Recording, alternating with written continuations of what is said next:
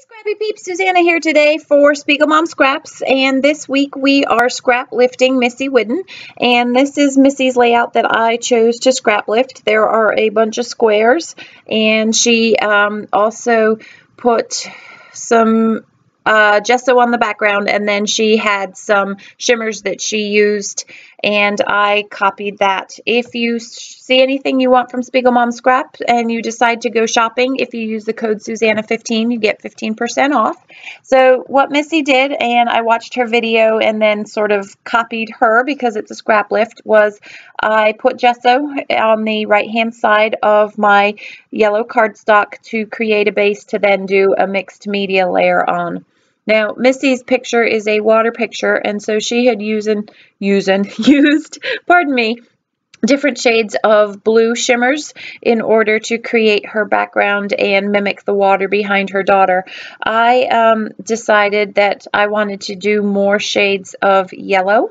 Um, I do not have a lot of yellow shimmers, uh, which I did get from the Spiegel Mom Scrap Store, so I did use Heidi Swapp Shine, and for some reason I decided, I think as a quicker way of drying it so that I could create, I wiped off with um, paper towel, but you will find that after I do this embossing that I go back over um, and add more shimmers or more spray mist to that. So I am using, um, this is called Hold the Mustard is the color, Paste-eez from Shimmerz over a stencil because I um, wanted some flowers on this layout just in the same hue so it was kind of tone on tone and monochromatic for the background just to add a little bit of visual interest through her through my layout. Missy uses hearts throughout her layout um, and I have a few hearts that I do use but my other primary shape and embellishment here are the embossed hearts. So that is the foundation of the layout and I'm going to let that dry while I cut. And so here is where I told you I um, had taken away a lot of that yellow color by rolling the paper towel over it. So I just went back in again with the um, mist and added some more yellow. So I want this to dry, um, so I'm going to start building the foundation of, of the layout. Missy often uses tissue paper behind her pictures, and I um, cannot for the life of me find my white tissue paper. So instead of tissue paper, I used a glassine bag, which just adds the same effect. Um, it just is a little more opaque, I want to say. So I had collected a bunch of pattern papers and I went Missy's color tones in hers. Um, she uses pinks and yellows and I really liked those colors but they weren't going to work with this particular picture that I wanted to work with so I pulled a bunch of pinks but not the bright pinks sort of the more mauvey colors and um, this tealy green color. And it was kind of hard to find a collection that included both of those. So I have papers from all over the place. Um, I have some of this right there is Maggie Holmes. I have some Authentique. Um, I have some Old Basic Gray. I even used um, a card that came in my Cocoa Daisy kit. That's what says smile. And I just cut out various squares. Um, when Missy made her layout, she used uh, square punches. I don't have square punches, and I didn't want mine to be quite so uniform necessarily, so I, I literally just cut out different size squares from the pattern papers that I pulled. Um, and while I was doing that, it also afforded me the ability to let the gesso and the um, embossing paste or yeah, the embossing paste, the Paste-eez um, to dry some. And you can see I do use my mat a little bit for some symmetry, but I wasn't worried to get perfect symmetry. So that piece of paper from American Crafts from One Canoe 2 is actually what was the color inspiration for this layout um, because it combines both the pink and the the teal aqua. It's really more of an aqua color. Um, and I liked the front and the back of that. And as you, if those of you who know my scrapping know that I like to have a piece of pattern paper that has the color combinations of what I'm using in it. So I lay my picture down first, and Missy uses a square picture in her layout, but I did not. I, um, I wanted this picture. This picture is of my son going to the eighth grade dance. He went by himself. Um, he had a girlfriend who he had had for a little while, and in our middle school, you cannot invite somebody from a different school to the dance. So he let his friends go off and um, have dinner with their dates and he just met them there at the dance and I think he had a good time. So I just arranged these squares um, in really uh, just a random pattern. I just stuck squares down. What I realized after the fact is that Missy's squares are a little tighter than mine. Um, hers almost form a rectangle of squares, um, whereas mine forms more of a square of squares. Um, and when you look at her layout versus mine at the side, you'll see what I mean by that.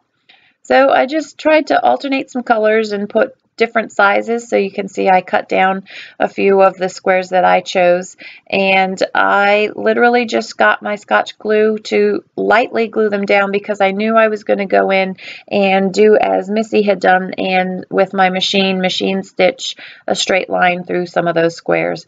You can see um, my embossing paste isn't completely dry and I'm not worried about it because you still get the effect of the flowers. Um, I just didn't want it to smudge too much and I didn't want it to get on my hand and then get on the paper, which I frequently do. I did cover one of those flowers there. So just gluing those down. And in a minute, I will go upstairs. My sewing machine is upstairs. I actually have two machines, one for paper and one for fabric. Um, and I will go upstairs and stitch. I used a variegated yellow thread to just stitch through a few of those squares. And then I will continue to do as I'm doing here and add some embellishments. Um, Missy only has one title, which she has on the left-hand side of her layout, and hers um, is actually a long title.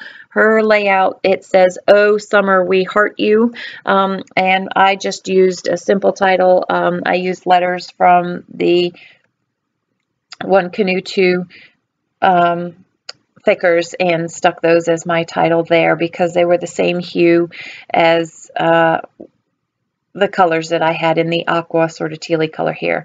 Then I pulled out my Spiegel Mom scrap sequins and this is the Fairy Garden collection. Fortunately this collection perfectly matched the um, colors that I used for this layout and I chose a sequins to put in the middle of each of the embossed flowers and then I chose three clusters of three just for some added visual interest to this layer and I like how it really um, pulls your eye away from the squares, but also sort of draws out the linearness of the squares. Missy always uses, um, I call them balls of thread, um, thread tangles, and so I did put a thread tangle. Um, I, am wishing I had put one on the other side of the picture, and I believe Missy has two, one on the right-hand side and one on the left-hand side, and I may go back and put that in um, over that really big square to the bottom left of the picture, but it, it, it wouldn't look empty without it. So I use my Scotch Quick Dry to put the sequins down and I'm getting a little more proficient with my sequins and just um, sort of lifting the edge up and then able to push it down with my finger and get the glue without getting the sequins stuck to my finger as is typically what is wanting to happen. So I have hearts and various other embellishments that I pulled from um, Bella Boulevard, Fancy Pants, and I think that's about it that I used to decorate the layout with. Um, and just as Missy had done, she had hearts scattered throughout. So I did that. I put my title where Missy put her title. And I actually also journaled where Missy journaled, only um, I didn't underline my um, journaling as Missy has done. So this is where I add the title. You can see that remember this. And I it was hard to pull the whole thing off. So I just cut it out, which was perfectly fine. And my intent had been to fold it back, kind of like you one would do with wax paper. Um, but they didn't come off as cleanly as I wanted. I found that arrow as I was going through the um, Thickers pack and I really wanted that in there too so I had to relocate the heart. Um, in the process I pulled off the backing, the sticker backing, so I just used some scotch adhesive. Now I do find that a lot of thickers, especially these really thin letters, don't adhere very well. And so I do put some liquid adhesive. See how they just sort of fell off that uh, backing so I lay them down and I actually don't like the alignment of them because I wanted this more in line with the square. Um, so after laying them all down, I shift them to form a better alignment. So we are coming to the end of this scrap lift. That is my um, not so perfect take on Missy's layout, but I, I, really do like the way that it turned out. I um, am never going to be able to scrap as well as Missy does, but hey, it's a good good attempt. So if you find anything you need from the Spiegel Mom Scrap Store, don't forget to use Suzanna15 for a discount. Enjoy the close-ups, and thanks for joining us today. Take care.